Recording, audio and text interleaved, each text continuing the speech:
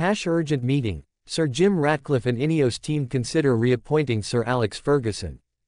In a surprising turn of events, Sir Jim Ratcliffe and his Ineos team are reportedly set to hold an urgent meeting to discuss the potential reappointment of legendary manager Sir Alex Ferguson. This development has sparked interest and speculation among fans, pundits, and the football community at large.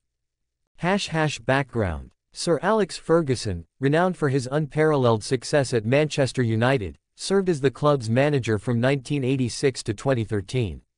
Under his leadership, United secured 13 Premier League titles, 5 FA Cups, and 2 UEFA Champions League trophies, establishing a legacy that defines the club's modern history. Since his retirement, the team has struggled to recapture its former glory, leading to ongoing debates about management and strategy. Hash hash the current landscape. With Ineos's recent acquisition of a stake in Manchester United, Sir Jim Ratcliffe is keen on revitalizing the club's fortunes. The ongoing challenges, including inconsistent performances and managerial changes, have prompted discussions about bringing back Ferguson's expertise. Although he is retired, his influence and understanding of the club's culture could provide much-needed guidance during this transitional phase. Hash hash potential implications. Reappointing Sir Alex Ferguson would undoubtedly generate mixed reactions. While many fans would welcome the return of a beloved figure, others may question the practicality of such a move, given the modern demands of football management.